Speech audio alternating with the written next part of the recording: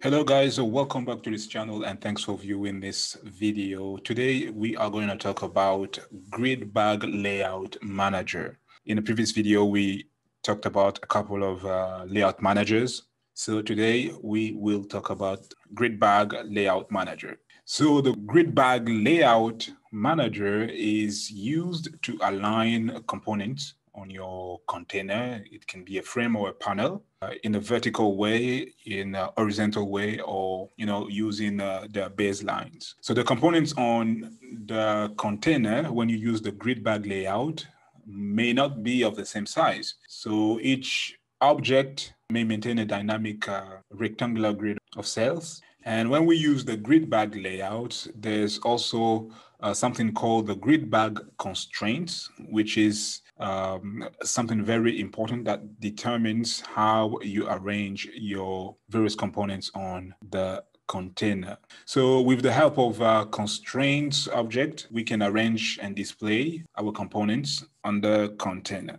Okay, so in this video, I'm going to show you how to actually set the grid bag layout for your panel and for your frame as well. And uh, I'm to give an example on how to actually use that. So my project structure is organized this way. I have the main class here where I am having the main method, and I also have a second class that I called grid bag layout demo. I'm going to make sure that this particular class extends the class JFrame, okay? So it's going to inherit all the properties of this particular JFrame class. So I need to import the JFrame class like this. Then in my main class, I'm going to remove this. We will come back to the main class later on. So in this grid bag layout demo class, I'm going to create a constructor. So I will say public grid bag layout demo, and I will open my curly braces like this. So I'm going to create, I'm going to declare a grid bag layout. So I will say grid bag layout, and I'll simply call it layout and new grid bag layout. This and a semicolon. I'm having an error. Okay, I need to import the grid bag layout class. Now I don't have any error at all. I can set the layout for this particular frame. So I'm going to say this that set layout and I'm going to say layout, okay? Because layout is a grid bag layout object. So this line of code is going to make sure that this particular frame is having a layout of type grid bag layout. So after I've done that, I can now set the size of this frame. I'll say this, that set size, 800 for the width and 600 for the height. I can also set the default close operation so JFrame that exit close. And then I will set visibility. So say set visible to true. I can also choose to set the title of this particular frame. I'll say set title. And I'll put a string here that would be grid bag layout. And let me close the double quotes. So the set layout here, layout here is making reference to this. So it's an object that is going to make sure that we are having the new grid bag layout here. So it's pretty much the same thing if I wrote new grid bag layout like this. So that it's pretty much the same thing. All right. So I'm going to say layout like this. Let me create some buttons. So I will say J button, btn1, new J button, and I'll call this button one. I need to import the J button class I'll copy this line of code and paste it. So this will be button two, button two, button three, button three, button four, button four here, button five, and then button five. So in the grid bag layout class, there is something called the grid bag constraints. So with these constraints, it gives you the possibility to actually determine the position or the alignment of your components on the frame. So that's why it's really important to have this uh, a grid bag constraint object in order to determine that. So we are going to declare that particular object here. So we say grid bag constraint and the name of that constraint object. We say GBC new grid bag constraints. So I need to import the grid bag constraints like this. All right. So now let's add our buttons to the frame. So now if you want to add button one to the frame, for example, you say this, that add button one, and you need to precise the constraint, okay? So the name of the constraint object is GBC. We called it GBC here and then semicolon. So let me show you what will happen. Let me remove the constraints. Uh, let us display our frame like this without the constraints. So what I will do is that I will come to my main class here. So I will say grid bag layout. I call this demo. And I will say, I call it GBL equal new grid bag layout. So let me run. Okay, now we can see the button one is showing on the screen. Okay, let me come back to my grid bag layout demo class. I can add another attribute here. So I'll say this that set location relative to null. So to make sure that the frame will appear at the center of the screen. And I'm also gonna add all my buttons. So here I will do BTN2, BTN3, BTN4, BTN5. Let me run there you can see all my buttons are showing and they are all centered. Okay, so they are showing one after the other. So that's it. So let me come back to the grid bag layout constraints, what I was explaining to you. So with the grid bag layout constraints, it allows you to actually determine the position of your particular uh, component. Okay. So now how do you use that? So with this particular component, let's take the first button. If you want to apply some constraints to that, let's say, for example, you want to determine its x-axis position. So you have to write the name of the grid bag constraints. So we called it GBC that grid x like this. And then you pass an integer value that will determine the value for that x axis of your button. So if you also want to determine y axis of your button, you do the same thing, GBC grid y zero, all right? So you can do, let us do for the second button as well. So we will simply copy, come and paste it here. For the second button, we will say one, one, like this.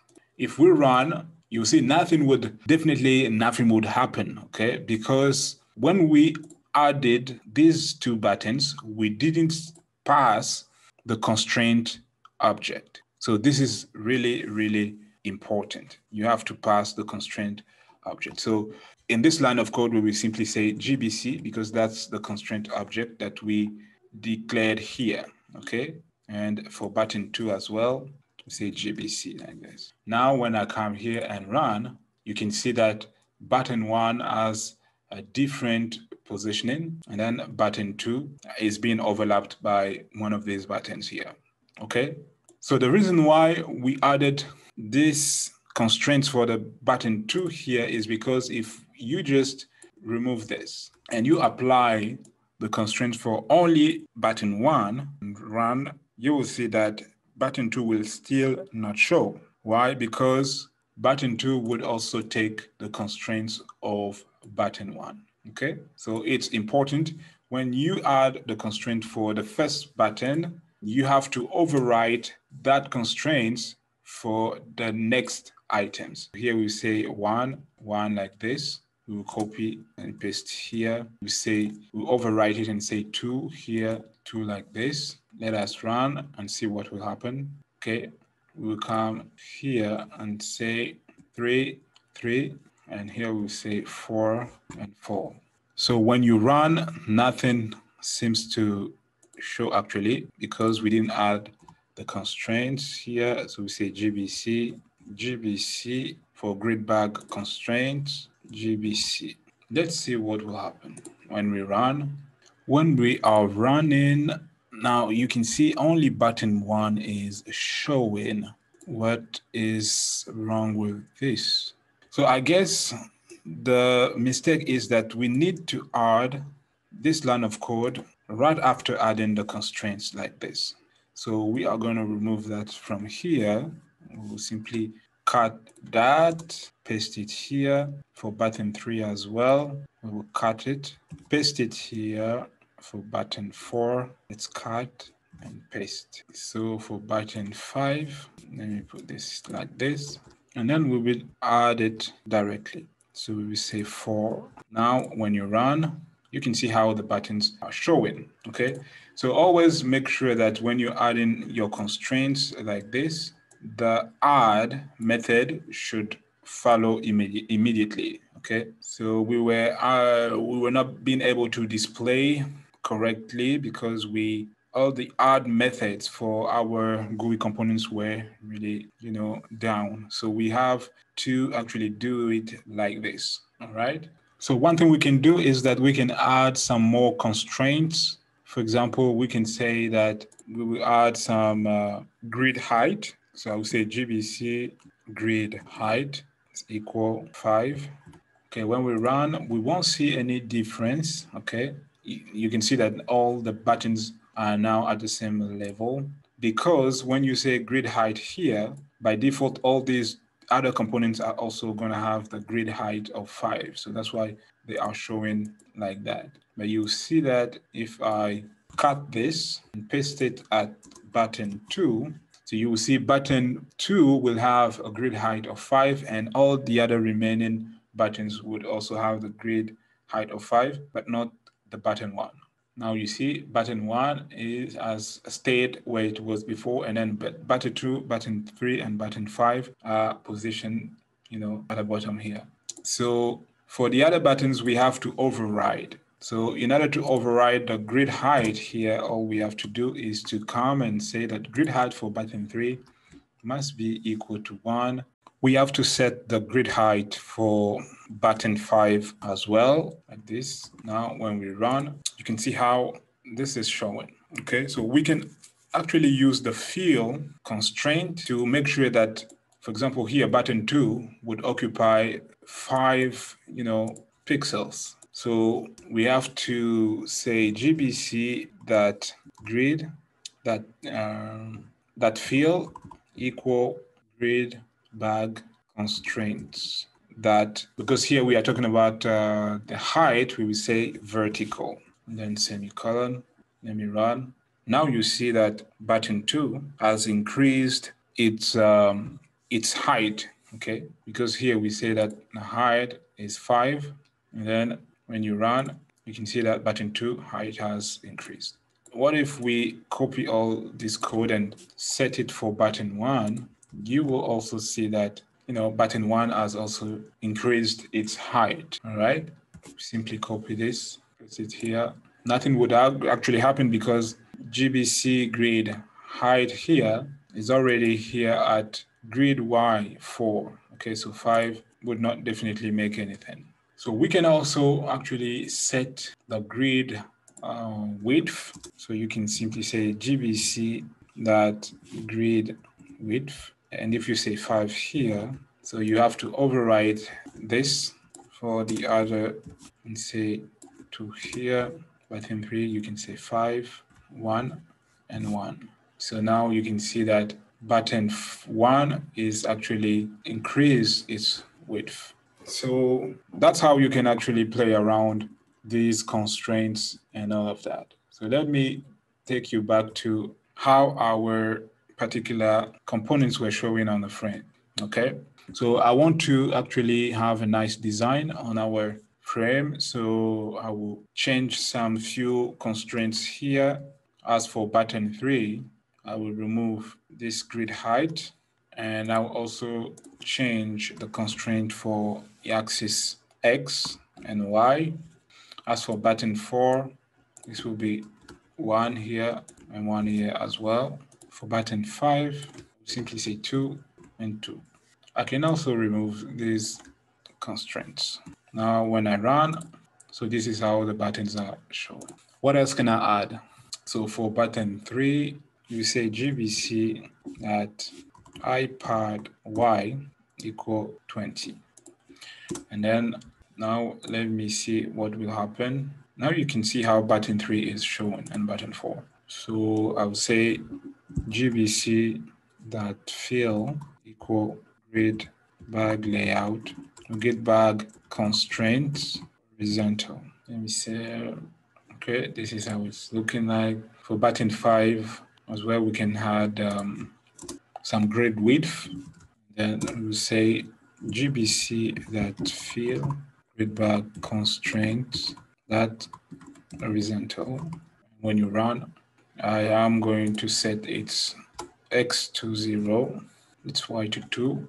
Now, this is how it is showing.